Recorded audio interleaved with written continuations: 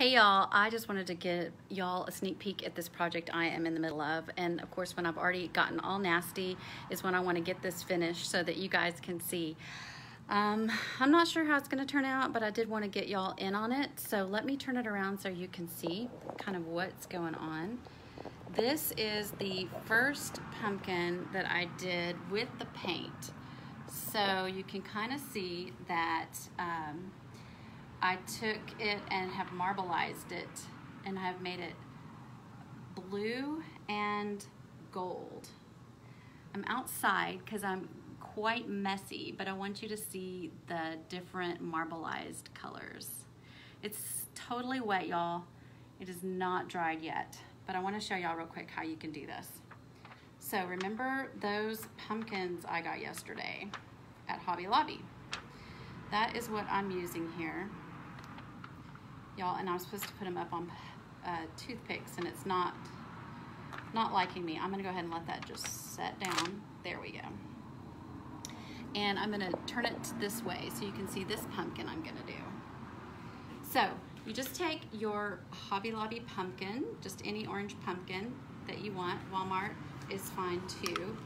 Take off the tag. Hey Gayla, I miss you, my friend. And then you are going to take toothpicks. So I just have toothpicks here, or you can use nails, whatever's easy. And you're going to put those in the bottom. And this is gonna be what it stands on. That's three. I know I brought out four, y'all. Of course, I can't find, oh, here it is.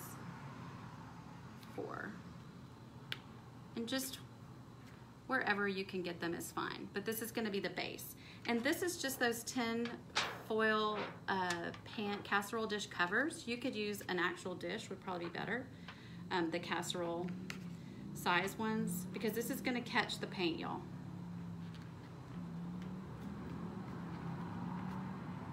Let's see if I can get it to stand. Okay, so it's standing up. So then I'm just taking um, whatever color paints you want. And these are just acrylic paints, nothing fancy, nothing special. And I'm just gonna pour them in here. So my darker color or the one I want to be the, the most prevalent on the project, um, I'm gonna put in um, first. And then the accent color, which this is a really pretty gold, y'all. I don't know how well you can see that, but yeah. Pretty gold. Hold on, let me get this light on it. I don't know, can y'all see that? I had to do this outside, y'all, because it's really messy. So we um, are gonna take the gold and put it kind of just on top, on top of the blue. And you can put it in a swirl or just straight down. However you want it to go. I just did this kind of in a quick little swirl. So y'all can see I have blue in there and gold in there. Woo, and I'm pouring it out. So you're gonna take the, um, and they recommend a solo cup for this, y'all, but I just had this cup, so it is whatever works. So you're gonna turn it on its side. So here's the handy dandy handle, your toothpicks, and then the side. And you're just gonna kinda pour it on here. Sort of strategically.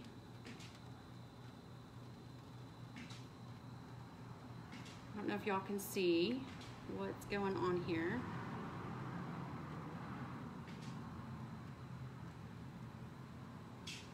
But I am getting a good pour on here. And it is marbleizing as I go. And there is no rhyme or reason to this, y'all. It's just whatever you want. But I didn't want an orange pumpkin, so there you go. All right, so what I did was, I actually literally don't have enough pans. so normally I had another pan over here and I just set it over here, but I'm just gonna set it on this towel while I take this pan and pour it back into my cup. So I am not wasting any of the paint and I am still gonna use it. So I feel like I need more gold. So I'm gonna add gold to the paint that I just poured back in there. Hey, Miss Amy. I am late to volleyball. I gotta get. And then I'm gonna take it back over here to my um, pan and go back over any spots that didn't get uh, color.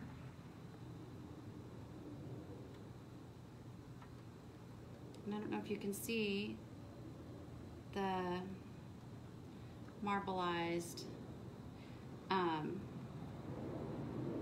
look that it's creating for me. This one did so much better because it's small, y'all, and it's just easier to get good coverage. So um, this one was easier, which I'm glad so y'all could see.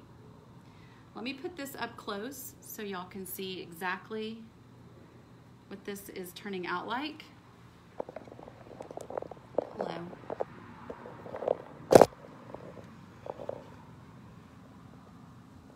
Here we go. I don't know what the best. There we go. Can you see the marbling?